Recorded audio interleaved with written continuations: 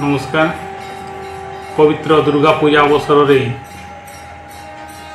ସମସ୍ତ ମଣିଷ ଜାତିର ମଙ୍ଗଳ କରିବା ପାଇଁ ମା ଦୁର୍ଗାଙ୍କ ପାଖରେ ମୁଁ ପ୍ରାର୍ଥନା କରୁଛି। ସମସ୍ତଙ୍କର ମଙ୍ଗଳ ହେଉ।